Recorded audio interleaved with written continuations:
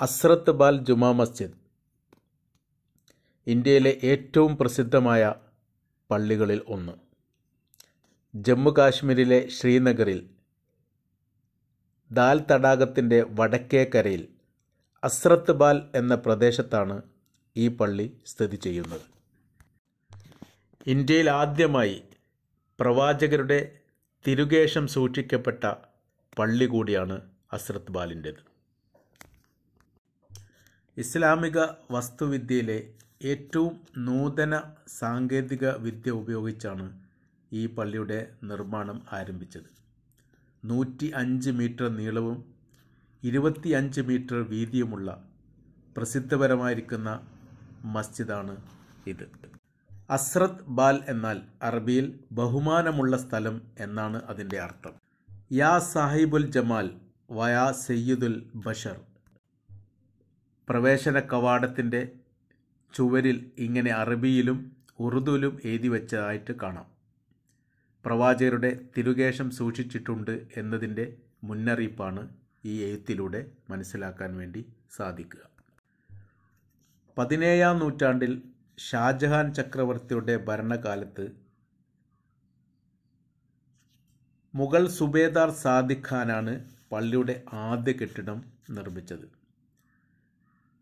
ആയിരത്തി തൊള്ളായിരത്തി അറുപത്തെട്ടിലാണ് നിർമ്മാണം ഇന്നത്തെ നിലയിൽ പൂർത്തീകരിക്കപ്പെട്ടത്.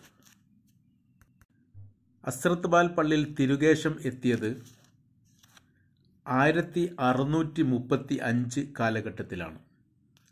ആ കാലഘട്ടത്തിൽ മദീനയിൽ നിന്നും ദക്ഷിണേന്ത്യയിലെത്തിയ സയ്യിദ് അബ്ദുള്ള മദനി അദ്ദേഹം അജ്മീരിലായിരുന്നു താമസമാക്കിയിരുന്നത്.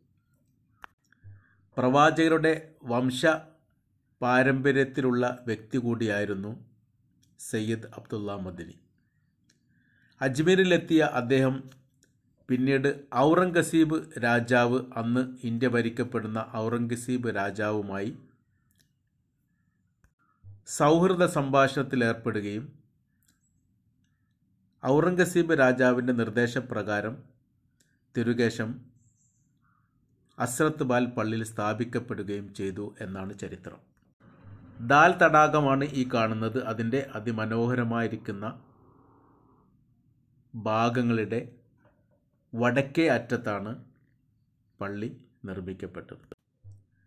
നൂറുകണക്കിന് ആളുകളാണ് നിത്യേന എന്നോണം ഈ പള്ളിയിലേക്ക് വന്നുകൊണ്ടിരിക്കുന്നത്. വർഷത്തിൽ ഏഴ് പ്രാവശ്യമാണ് തിരുകേശം വിശ്വാസികൾക്കായിട്ട് കാണിച്ചു കൊടുക്കുക.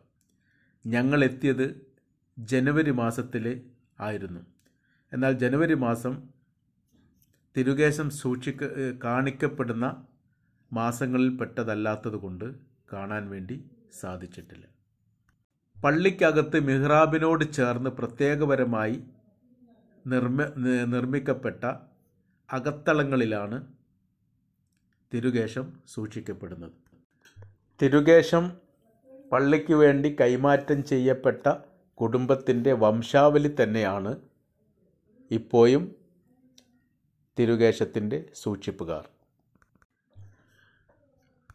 ഔറംഗസീബ് രാജാവ് കൈപ്പട കൊണ്ട് എഴുതിയ വിശുദ്ധ ഖുർആാന്റെ പതിപ്പ് കൂടി അസ്രത്ത് ബാൽ ജുമാ മസ്ജിദിന്റെ അകത്ത് സൂക്ഷിക്കപ്പെട്ടിട്ടുണ്ട്. ആ ഒരു പ്രത്യേകത കൂടി ഈ പള്ളിക്കുണ്ട്. ബാക്കി അടുത്ത വീഡിയോയിൽ കാണാം. ഇൻഷാ